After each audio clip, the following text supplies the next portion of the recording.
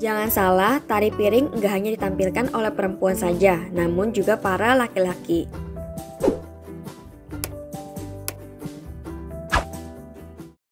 Tari piring merupakan sebuah tari tradisional yang berasal dari Sumatera Barat.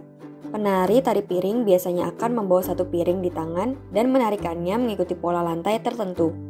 Pola lantai merupakan pola garis lintasan lantai yang mengatur bagaimana pergerakan dan perpindahan para penari agar menghasilkan gerakan yang rapi dan indah.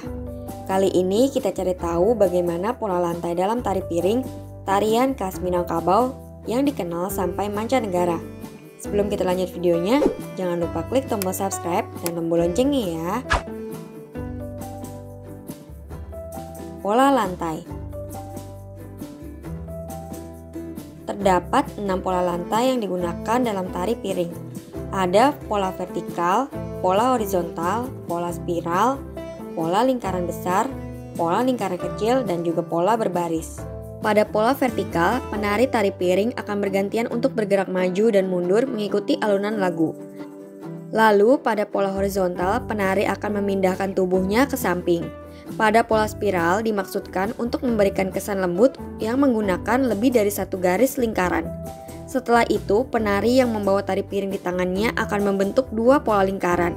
Pola itu merupakan pola lingkaran besar dan kecil yang pada akhirnya akan membentuk satu garis lurus di akhir pertunjukan tari piring. Uniknya, setelah semua gerakan dilakukan, para penari akan melempar piringnya ke lantai sampai pecah. Mereka harus berjalan pada pecahan piring, yakni beling tajam. Namun tenang saja, nggak akan menimbulkan luka pada kaki kok. Berdasarkan platform kebudayaan Kemendikbud, penari yang menggunakan pola tari piring biasanya ditampilkan dengan jumlah ganjil, ada 3 sampai 7 penari yang menarikan tarian yang memiliki nama lain tari piring ini. Jangan salah, tari piring nggak hanya ditampilkan oleh perempuan saja, namun juga para laki-laki. Makna tari piring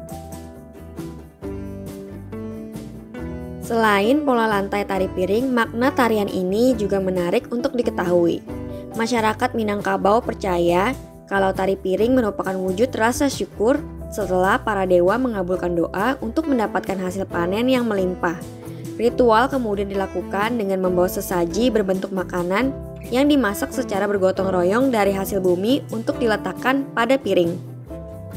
Piring-piring itu dibawa dengan tangan dan ditarikan dengan gerakan yang energik. Setelah agama Islam mulai masuk dan berkembang, tari piring mengalami pergeseran fungsi dan makna. Kini tari piring menjadi sekadar hiburan dalam acara besar saja, seperti penobatan gelar, ritual kematian, pesta perkawinan, hingga penyambutan tamu agung. Nah, itulah pola lantai dan makna tari piring. Sampai di sini dulu ya videonya. Jangan lupa like, komen, subscribe, dan share ke teman-teman lainnya ya kids. Bye-bye!